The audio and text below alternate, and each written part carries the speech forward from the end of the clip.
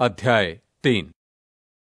देखो, पिता ने हमसे कैसा प्रेम किया है कि हम परमेश्वर की संतान कहलाएँ और हम हैं भी। इस कारण संसार हमें नहीं जानता, क्योंकि उसने उसे भी नहीं जाना।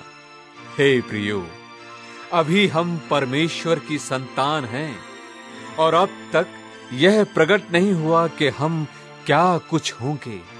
इतना जानते हैं कि जब वह प्रकट होगा तो हम भी उसके समान होंगे। क्योंकि उसको वैसा ही देखेंगे जैसा वह है। और जो कोई उस पर यह आशा रखता है, वह अपने आप को वैसा ही पवित्र करता है जैसा वह पवित्र है। जो कोई पाप करता है वह व्यवस्था का विरोध करता है। और पाप तो व्यवस्था का विरोध है। और तुम जानते हो कि वह इसलिए प्रकट हुआ कि पापों को हर ले जाए और उसके स्वभाव में पाप नहीं। जो कोई उसमें बना रहता है, वह पाप नहीं करता। जो कोई पाप करता है, उसने ना तो उसे देखा है और ना उसको जाना है।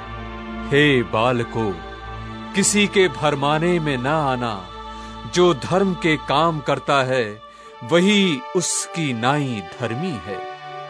जो कोई पाप करता है, वह शैतान की ओर से है, क्योंकि शैतान आरंभ ही से पाप करता आया है।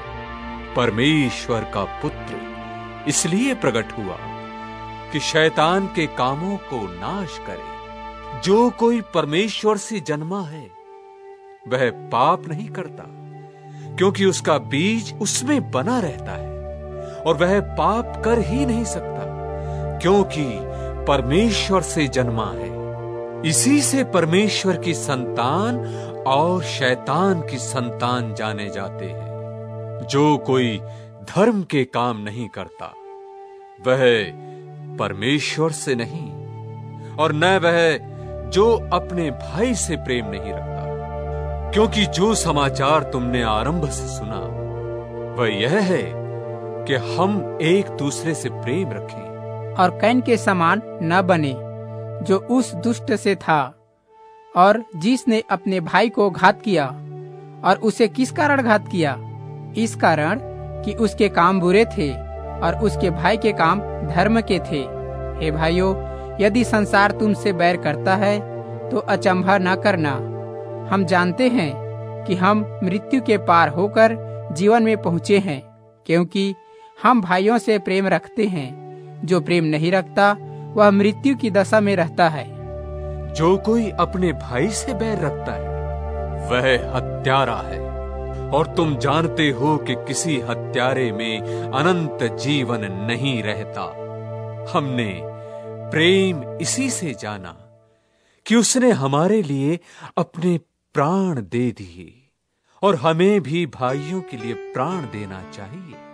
पर जिस किसी के पास संसार की संपत्ति हो और वह अपने भाई को कंगाल देखकर उस पर तरस खाना ना चाहे तो उसमें परमेश्वर का प्रेम क्यों कर बना रह सकता है?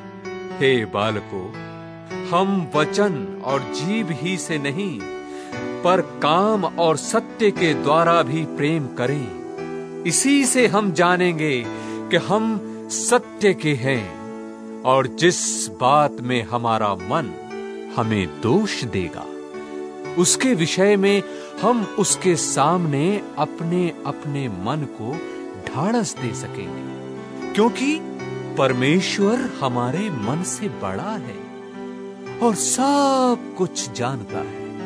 हे प्रियो, यदि हमारा मन हमें दोष ना दे तो हमें परमेश्वर के सामने हियाव होता है। और जो कुछ हम मांगते हैं, वो हमें उससे मिलता है, क्योंकि हम उसकी आज्ञाओं को मानते हैं, और जो उसे भाता है, वही करते हैं। और उसकी आज्ञा ये है कि हम उसके पुत्र यीशु मसीह के नाम पर विश्वास करें।